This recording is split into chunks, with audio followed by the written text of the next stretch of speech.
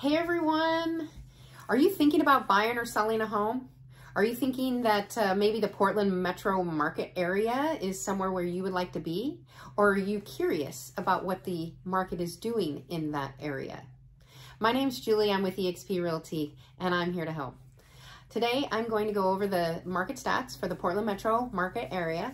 I do three on the east side, three on the west side. I compare numbers to the previous week, and we can check out and see what the movement in the market is doing. So let's get to it. Over in the Lake Oswego and West Linn area, the actives are at 155, which is up by four from the previous week. The news are at 48, which is down by nine. Pending 41, down by 10. And solds 33, down by one. That's a little bit of a downward trend for the Lake Oswego and West Linn area. In the Oregon City, Canby, and Molalla area, we have the actives at 166, which is down by 8.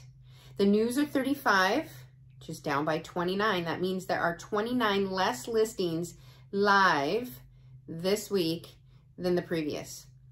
Pendings are at 46, which is down by 1, and the solds are at 51, which is up by 4. In the Gladstone, Milwaukie, Happy Valley area, we have the actives at 262, which is down by 3. The news are at 84, up by 9. Pendings 88, up by 11. Sold 78, up by 17. They had a little bit of an uptick there, but very slight. Over on the west side, the Beaverton and Aloha, we have actives at 133, which is up by 5.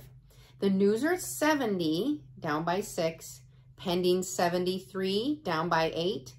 Sold 65, which is down by 3. Hillsboro and Forest Grove, you have actives at 159, which is down by 12. The news are at 57, which is down by 11. The pendings are up. 78 is the number, and they're up by 19. Sold 68, up by 11. So that was a little bit of a mixed bag there and over in uh, Hillsboro and Forest Grove. But uh, lastly, Tualatin and Sherwood, we have the actives at 177, which is up by 11.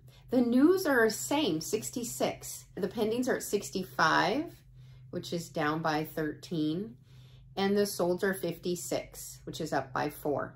So I am actively out in the market every day. I am talking to buyers and sellers. Have had a couple listings go live this week and I have a couple buyers that I've been shopping and writing offers on. I can tell you that one offer that uh, that I wrote for my buyer the other day, they had seven offers total and it went for 70,000 over. And I also know that there's some homes that aren't having much many showings. I had an agent call me this morning. She's got a listing and she was asking what I thought the market was with my experience right now and if I felt there was a change coming on because they've had their home listed for a week and has only had a couple showings. So I know that as a real estate agent in this hot market, you usually list on a Wednesday, Thursday, and by the weekend you are sifting through multiple offers for your client. And if that doesn't happen,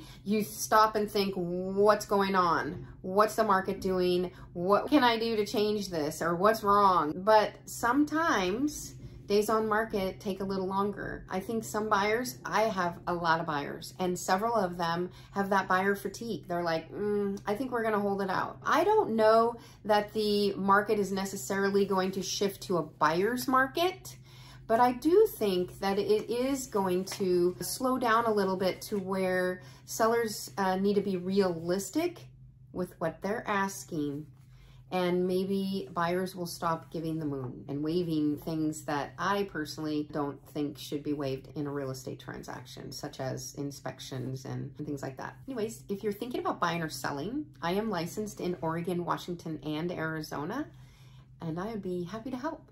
And I'm always accepting referrals. I, I, do work my business on a referral basis. If you know of anyone, please reach out. I am always appreciative of referrals as that is how I do my business. Anyways, I hope you all have an amazing day.